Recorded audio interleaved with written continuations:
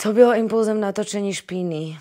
No, uh, taká tá hlavná motivácia uh, k vôbec tej téme bolo hlavne to, že, že vlastne okolo nás sa vyskytovalo až príliš veľa ľudí, ktorým sa vlastne stalo niečo také, uh, čo súviselo so sexuálnym násilím.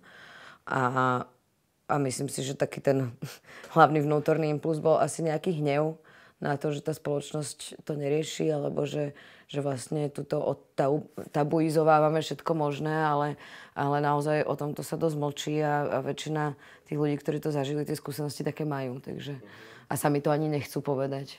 Pretože, uh, pretože tu naozaj nie je dostatočné to nastavenie, aby sa v tom cítili komfortne a vedeli, že im všetci uveria.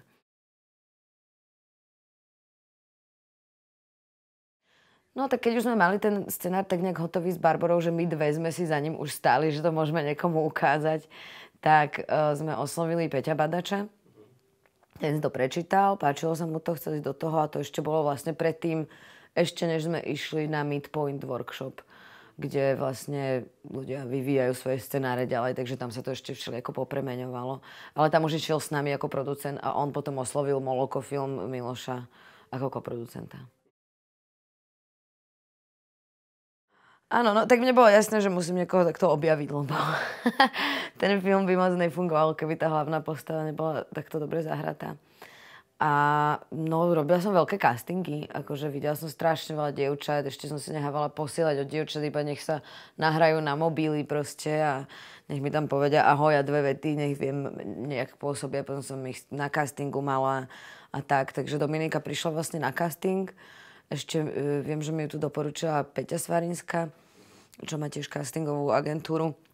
A vlastne z tých castingov sa to, no vlastne úplne klasicky, jak sa to prerieďuje proste. Uh, a ja, ja som tam tie dievčatá tak ako týrala, nech viem, kam až vedia proste zájsť v tom herectve, tak Dominika v tom bola vlastne najlepšia. Ona má taký dar, že človek sa na ňu chce stále pozerať, že má nejaké tajomstvo a zároveň dokáže akože veľmi dobre tam nejak presakujú tie vnútorné emócie, aj keď to nemusíš vždycky ako vykričať von. Takže, čo je pre ten film strašne podstatné, lebo ona veľa, väčšinu času tam mlčí o tom, čo sa je stalo.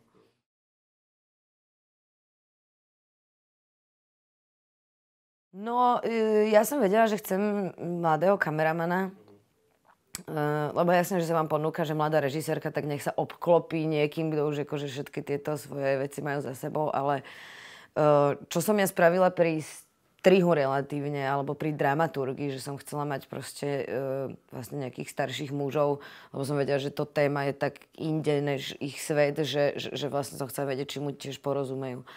Ale pri tej kamere som vedela, že chcem niekoho mladého, trošku z mojej generácie, ktorý sleduje súčasné filmy, proste chápe nejakú tú vizualitu, ktorú ja vlastne do toho filmu zamýšľam. Takže Marka som si vybrala hneď od začiatku, uh, aj keď som s ním predtým nepracovala vôbec na ničom, ani na nejakej malej blbosti na famu, nikdy sme spolu nerobili a povedali sme si, že tak pojeme to, pojeme rovno do toho proste dlhého filmu. A No a, a ja myslím, že akoby ten po, náš pohľad proste na, na, na, na, na tú vizualitu toho sa práve nejakým spôsobom zhodoval, takže, takže to bola dobrá spolupráca. Tak jasné, že to sledujú. Nie, no tak e, jasné, že keď napíšu do variety kritiku, tak si ju človek chce prečítať, lebo je to proste, lebo tam sledujeme aj vlastne nejaké, nejaké iné filmy, takže Takže to je... Viete, no, lebo proste ja zo svojho hľadiska už ten film strašne ťažko posúdim. To už ja už som ho videla toľkokrát, že ja už, ja už vôbec neviem. Akože zodpovedne prehlásujem, že som to urobila najlepšie, ak som vedela, ale proste už ohodnotiť ten film čerstvými očami nedokážem. Takže samozrejme, každá nejaká kritika, ale nielen chválenie, ale aj kritika je pre mňa vlastne dosť podstatná, aby som proste vedela aj to, kde som urobila chyby, kde, kde naopak nie, že proste do tej ďalšej práce.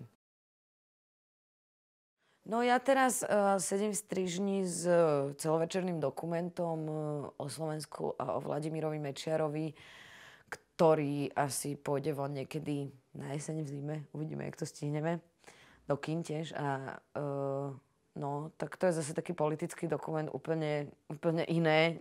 A vlastne strašne som rada, že, že, že som naraz robila tieto dva filmy, lebo som si vždycky oddychla od toho druhého, že, že intelektuálne som si oddychla pri Špine a emočne som si oddychla pri Mečiarovi, takže, takže to bolo fajn. Takže to plánujem, no a tak jasné, že ďalej by som rada natáčala aj hrané filmy, ale tým, že asi sa na tie veci pozerám dosť autorsky a chcem byť vlastne tak nejak od začiatku, tak si myslím, že to nebude, že teraz každý rok vyšvihnem film, to asi nepôjde úplne.